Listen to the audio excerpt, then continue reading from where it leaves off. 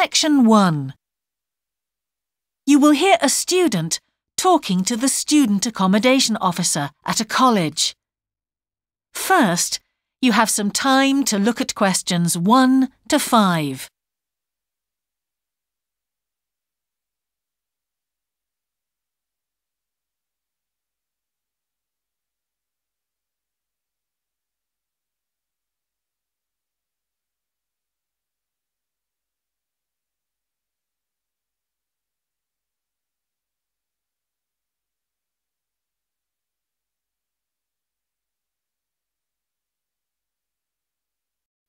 Now we shall begin. You should answer the questions as you listen, because you will not hear the recording a second time. Listen carefully and answer questions 1 to 5. Good morning. Can I help you? Yes, I've just been accepted on a course at the university and I'd like to try and arrange accommodation in a hall of residence. Yes, certainly. Uh, please sit down. What I'll do is fill in a form with you to find out a little more about your preferences and so forth. Thank you. So, first of all, um, can I take your name? It's Anu Bhatt. Could you spell your name, please? Yes. A N U B H A double T. Thanks. And could I ask your date of birth? The 31st of March, 1972. Thank you. And where are you from? India. Oh, right. And um, what will you be studying? I'm doing a course in nursing. Right, thank you. And how long would you want to stay in Hall, do you think? Well, it'll take three years, but I'd only like to stay in Hall for two. I'd like to think about living outside for the third year. Fine. And what did you have in mind for catering? Do you want to cook for yourself or have all your meals provided? That's full board. Is there something in between? Yes, you can just have evening meal provided, which is half board. That's what I'd prefer. Yes, a lot of students uh, opt for that. Now, with that in mind, do you have any special diet, anything we should know about? Yes, I don't take red meat. No red meat. Before you hear the rest of the conversation, you have some time to look at questions 6 to 10.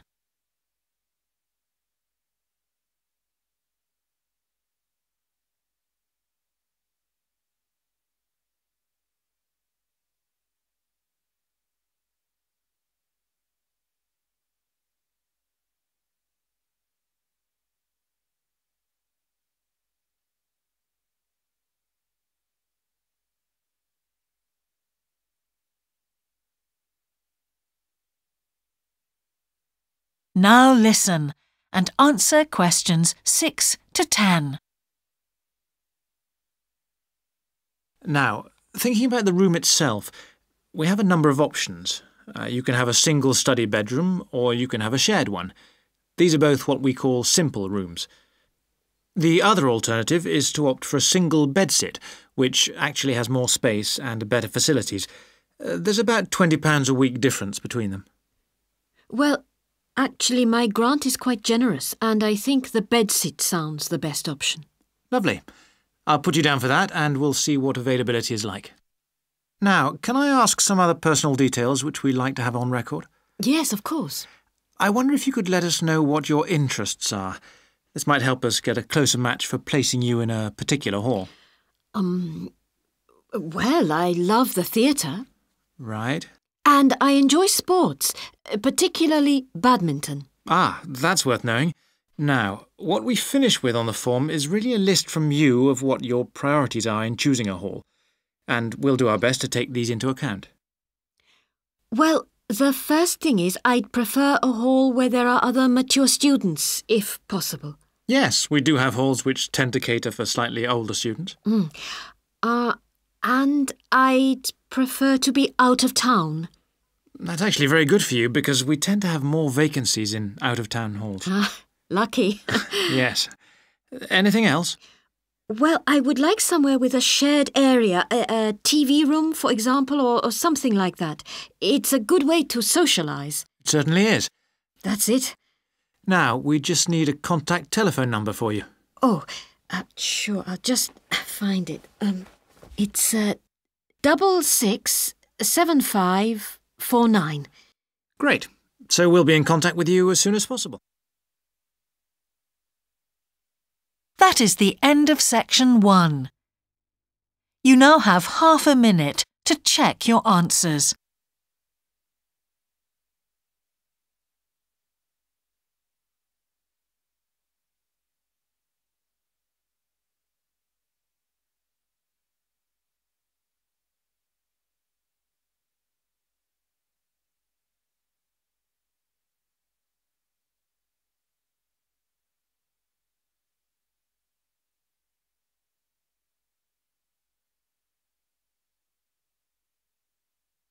Now turn to section 2.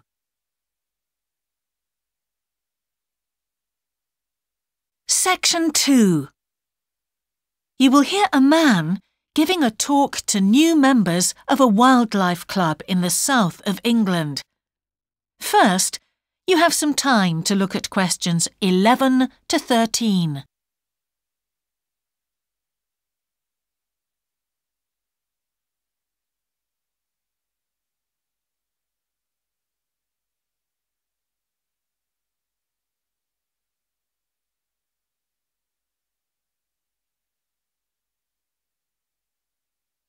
Now listen carefully and answer questions 11 to 13. Hello, I'm delighted to welcome you to our Wildlife Club and very pleased that you're interested in the countryside and the plants and creatures of this area. I think you'll be surprised at the variety we have here, even though we're not far from London. I'll start by telling you about some of the parks and open spaces nearby. One very pleasant place is Halland Common. This has been public land for hundreds of years, and what you'll find interesting is that the River Ouse, which flows into the sea 80 kilometres away, has its source in the common. There's an information board about the plants and animals you can see here, and by the way, the common is accessible 24 hours a day. Then there's Holt Island, which is noted for its great range of trees. In the past, willows were grown here commercially for basket making, and this ancient craft has recently been reintroduced. The island is only open to the public from Friday to Sunday because it's quite small, and if there were people around every day, much of the wildlife would keep away. From there, it's just a short walk across the bridge to Longfield Country Park. Longfield has a modern replica of a farm from over 2,000 years ago. Children's activities are often arranged there, like bread making and face painting. The park is only open during daylight hours, so bear that in mind if you decide to go there. Before you hear the rest of the talk, you have some time to look at questions 14 to 20.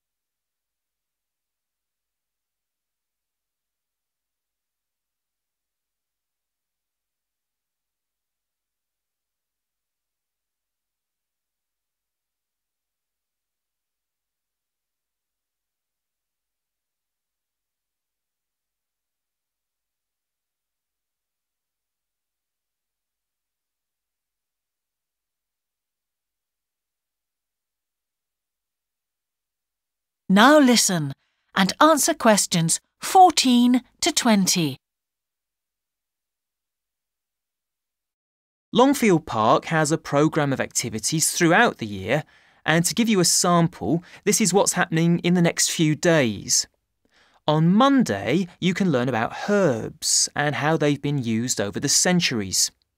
You'll start with a tour of our herb garden, practice the technique of using them as colour dyes for cloth, and listen to an illustrated talk about their use in cooking and medicine. Then on Wednesday, you can join local experts to discover the variety of insects and birds that appear in the evening.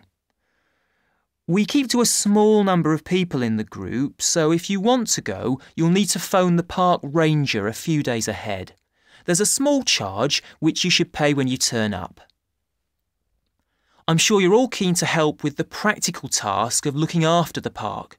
So on Saturday, you can join a working party. You'll have a choice of all sorts of activities, from planting hedges to picking up litter, so you'll be able to change from one to another when you feel like it. The rangers will be hard at work all day, but do come and join in, even for just a short while. One thing, though, is to make sure you're wearing something that you don't mind getting dirty or torn.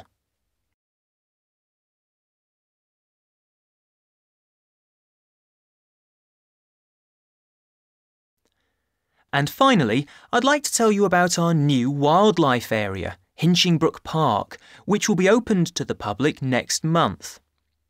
This slide doesn't really indicate how big it is, but anyway, you can see the two gates into the park and the main paths. As you can see, there's a lake in the northwest of the park with a bird hide to the west of it at the end of a path, so it'll be a nice, quiet place for watching the birds on the lake. Fairly close to where refreshments are available, there's a dog walking area in the southern part of the park, leading off from the path. And if you just want to sit and relax, you can go to the flower garden. That's the circular area on the map, surrounded by paths. And finally, there's a wooded area in the western section of the park, between two paths. OK, that's enough from me, so let's get on and have a look. That is the end of section two. You now have half a minute to check your answers.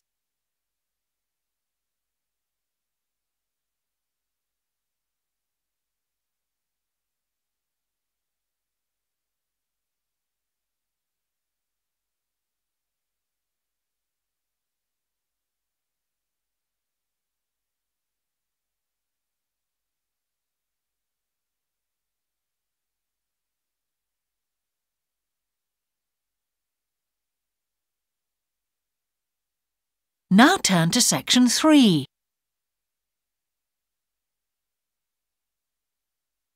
Section 3.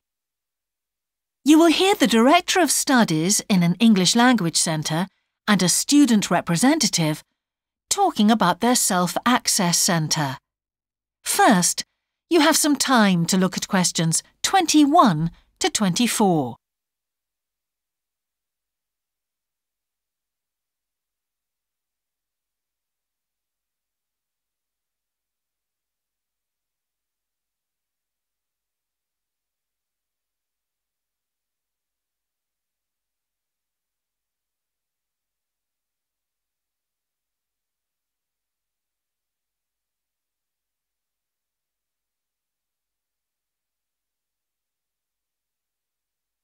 Now listen carefully and answer questions 21 to 24. Hi, Yun. As you know, I've asked you here today to discuss the future of our Self Access Centre. We have to decide what we want to do about this very important resource for our English language students. So, can you tell me what the students think about this? Well, from the students' point of view, we would like to keep it. The majority of students say that they enjoy using it because it provides a variation on the classroom routine, and they see it as a pretty major component of their course. But we would like to see some improvements to the equipment, particularly the computers. There aren't enough for one each at the moment, and we always have to share. Well, yes, the teachers agree that it is a very valuable resource but one thing we have noticed is that a lot of the students are using it to check their personal emails. We don't want to stop you students using it, but we think the computers should be used as a learning resource, not for emails. Mm. Some of us also think that we could benefit a lot more by relocating the Self Access Centre to the main university library building. How do you think the students would feel about that, Yun? Well, the library is big enough to incorporate the Self Access Centre, but it wouldn't be like a class activity anymore. Our main worry would be not being able to go to a teacher for advice. I'm sure there would be plenty of things to do, But we really need teachers to help us choose the best activities. Well, there would still be a teacher present and he or she would guide the activities of the students. We wouldn't just leave them to get on with it. Yes, but I think the students would be much happier keeping the existing setup. They really like going to the Self Access Centre with their teacher and staying together as a group to do activities. If we could just improve the resources and facilities, I think it would be fine. Is the cost going to be a problem? It's not so much the expense that I'm worried about, and we've certainly got room to do it, but it's the problem of timetabling a teacher to be in there outside class hours. If we're going to spend a lot of money on equipment and resources, we really need to make sure that everything is looked after properly. Anyway, let's make some notes to see just what needs doing to improve the centre. Before you hear the rest of the conversation, you have some time to look at questions 25 to 30.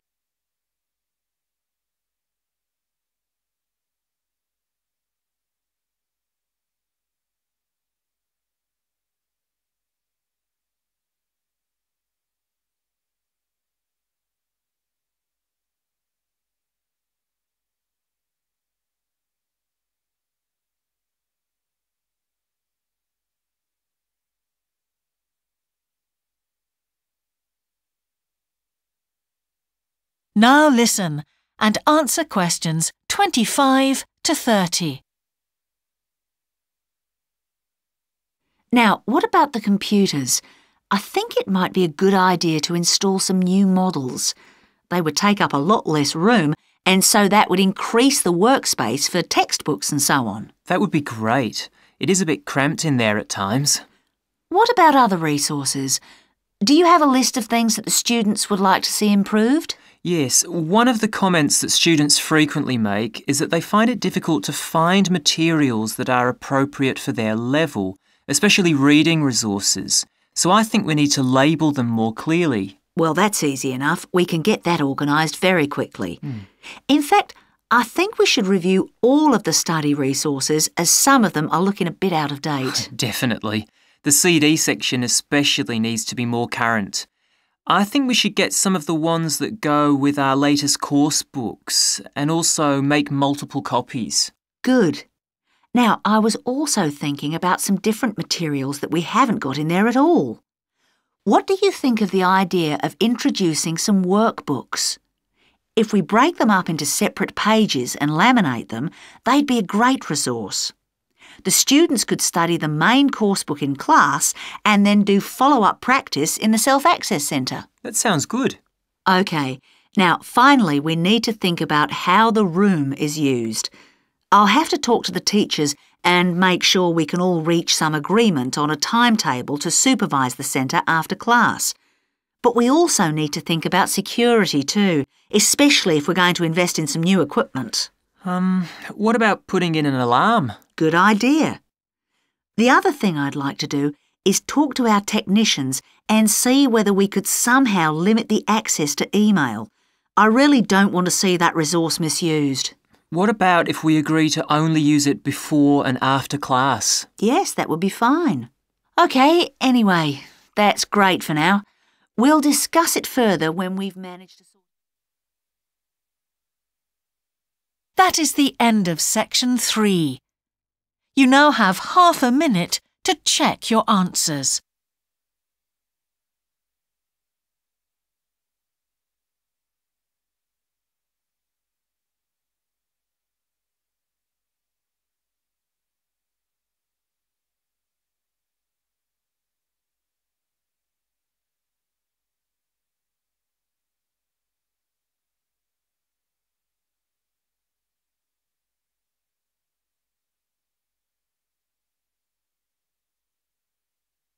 Now turn to section 4.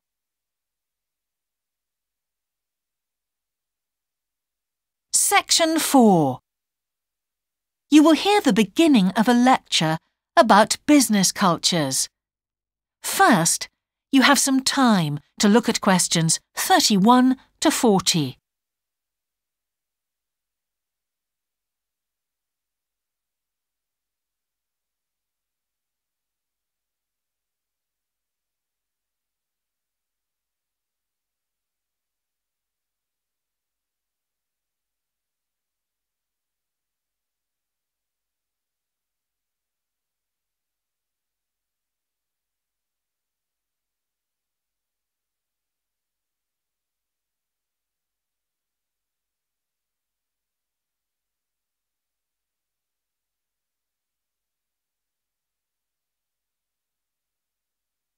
Now listen carefully and answer questions 31 to 40. Good morning, everyone. Now, whether you're going to university to study business or some other subject, many of you will eventually end up working for a company of some kind. Now, when you first start working somewhere, you will realize that the organization you've joined has certain characteristics. And we often refer to these social characteristics as the culture of the organization. This includes its unwritten ideas, beliefs, values, and things like that. One well-known writer has classified company cultures by identifying four major types. The first type is called the power culture, and it's usually found in small organizations. It's the type of culture that needs a central source of power to be effective. And because control is in the hands of just one or two people, there aren't many rules or procedures. Another characteristic is that communication usually takes the form of conversations rather than, say, formal meetings or written memos. Now, one of the benefits of this culture is that the organization has the ability to act quickly, so it responds well to threat or danger on the one hand, and opportunity on the other. But on the negative side, this type of organization doesn't always act effectively because it depends too much on one or two people at the top and when these people make poor decisions, there's no one else who can influence them. And the kind of person who does well in this type of business culture is one who is happy to take risks and for whom job security is a low priority. The next type is known as role culture. That's R O L E, not R O L L, by the way. And this type is usually found in large companies, which have lots of different levels in them. These organizations usually have separate departments that specialize in things like finance or sales or maintenance or whatever. Each one is coordinated at the top by a small group of senior managers, and typically everyone's job is controlled by sets of rules and procedures. For example, there are specific job descriptions, rules for discipline, and so on. What are the benefits of this kind of culture? Well, firstly, because it's found in large organizations, its fixed costs, or overheads as they're known, are low in relation to its output or what it produces. In other words, it can achieve economies of scale. And secondly, it is particularly successful in business markets where technical expertise is important. On the other hand, this culture is often very slow to recognize the need for change and even slower to react. What kind of person does this type of culture suit? Well, it suits employees who value security and who don't particularly want to have responsibility.